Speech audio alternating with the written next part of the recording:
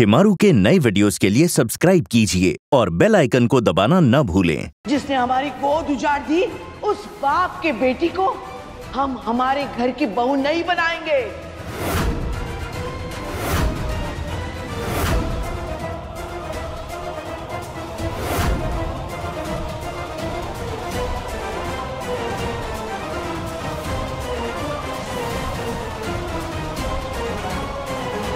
देखिए अम्मा जी पुराने घाव कुरेदने से कुछ फ़ायदा नहीं होगा आप ही को तकलीफ़ होगी।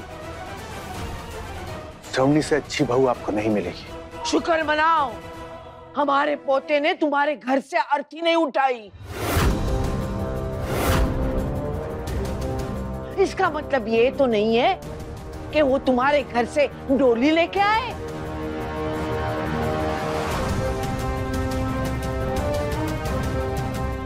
देखिए देखिए आप इनकार मत कीजिए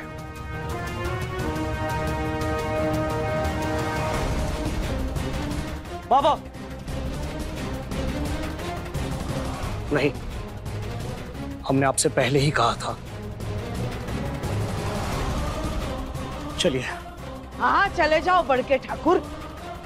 कहीं ऐसा ना हो कि हम बदला लेने पर उतारू हो जाए।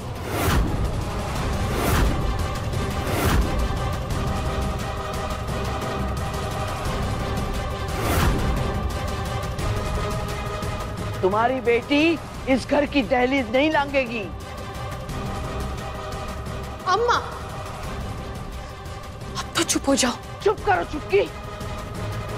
सिर्फ़ तुम्हारी वजह से हमारी उस घर से रिश्तेदारी हुई है।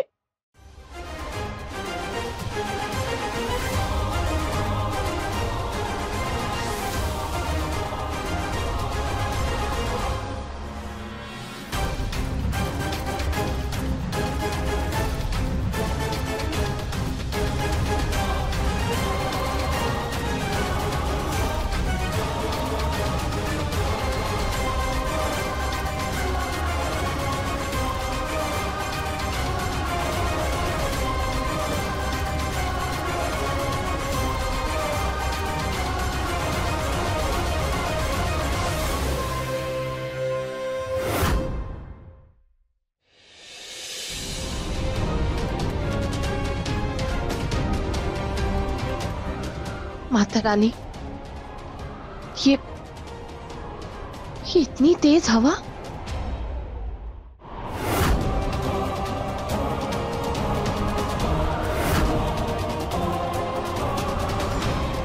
सब ठीक हो माता रानी।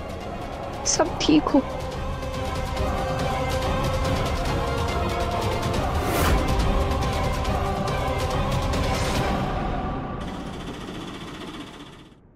ये लो मम्मी। खाओ। एकदम गर्म है। और तरकारी भी खाओ ना। आपको बहुत पसंद है ना? खास आपके लिए बनवा कर लाए। आज जो कुछ भी हुआ सब कुछ आपके वजह से हुआ। वरना वरना अब तक तो शिवांश का टीका भी हो चुका होता। मम्मी अब अब आगे का क्या?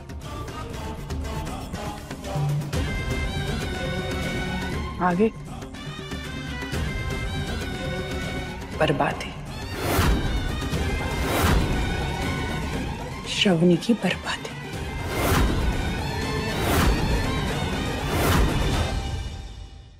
वो कभी नहीं आएगी इस घर में। कतई नहीं। लड़कियों की कोई कमी है क्या? एक ढूंढेंगे तो सौ मिलेगी। हमारे नज़र में एक लड़की है। सुमित्रा की पोती। ब्याह के लायक भी है और हमारे घर के लिए अच्छी भी है। बस हमें उसी से तुम्हारा रिश्ता करवाना है। अम्मा हम नहीं करेंगे उससे शादी। काहे? बोलो तो। जब श्रवणी का रिश्ता लेकर बड़के ठाकुर आए थे तब तो तुम टीका करवाने के लिए लपक गए थे। अब क्या हुआ? उसी हत्यारे की बेटी से शादी करोगे तुम।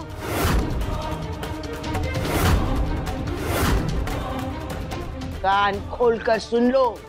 ब्याह वही होगा जहाँ हम जाएँगे। फ़ोन करके अभी सुमित्रा से कह देते हैं। अम्मा। घबराओ मत। बहुत बढ़िया घराने में रिश्ता करवा रहे हैं तुम्हारा। कल शाम को भावर भी पढ़वा देंगे। हम्म। अम्मा हमारी बात सुनिए। तू चुप कर। अम्मा। अम्मा हमारी बात सुनिए। अम्मा फ़ोन रखिए। फ़ोन रखिए अम्मा। हम नहीं करेंगे ये शादी। और आपको शर्मनी से परेशानी है ना तो ठीक है। हम उससे भी नहीं करेंगे। आप खुश? अम्मा अम्मा शिबू सही कह रहा है। अगर उसका मन ही राज़ी नहीं है तो हम हम ऐसा कैसे कर सकते तुम चुप बैठो।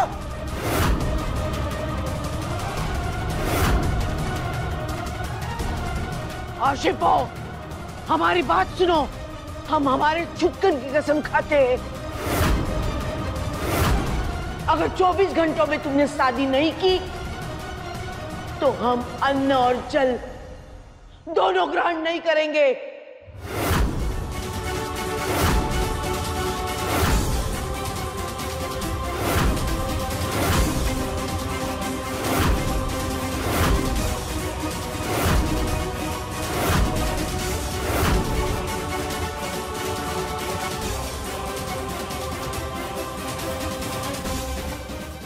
मान जाइए हमने कह दिया मतलब कह दिया।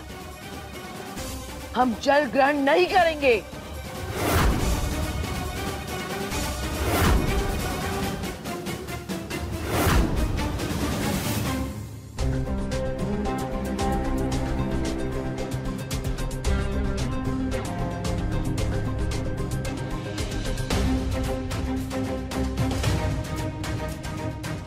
श्रवणी हमें माफ़ कर दो। हमने बहुत कोशिश की लेकिन लेकिन उसकी दादी नहीं मानी।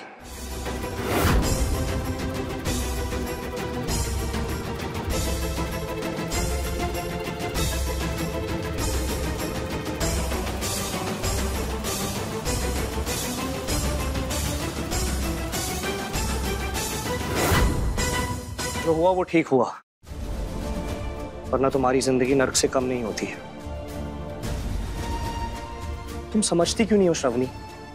वो लड़का तुम्हारे लिए ठीक है ही नहीं। अरे कहा तुम और कहा वो?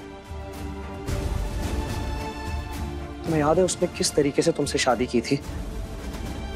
कोई भी शरीफ घर का लड़का कैसे करेगा? बताओ। वो तो उसकी अंतरात्मा जाग गई थी, इसलिए उसने अपना मन बदल दिया। अब क्या सारी ज़िंदगी तुम उसके अंतरात्मा के जागने का इंतज़ार करती रहोगी। भैया, बिल्कुल सही कह रहे हैं। कब तक ये दिया पकड़ के बैठी रहोगी? तुम्हारा सपना तो कुछ और है ना? तुम्हारा सपना तो डॉक्टर बनने का है ना? क्या बेकार के लोगों से उम्मीद लगाई बैठे हो? चलो, हटो, हमें बुझाने दो।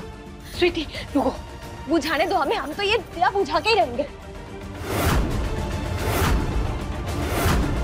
स्वीटी सही कहा तुमने। हमारा सपना है डॉक्टर बनने का। और एक दिन बनेंगे भी ज़रूर। जानती हो, जब सारे इलाज बेकार हो जाए, जब कोई दवा या इलाज काम नहीं आता है तो डॉक्टर क्या कहते हैं? उम्मीद नहीं हारनी चाहिए। उसी तरह हमारे हाथ की डोर किसके साथ बंदी और किसके साथ नहीं? वो तो माता रानी बताएगी।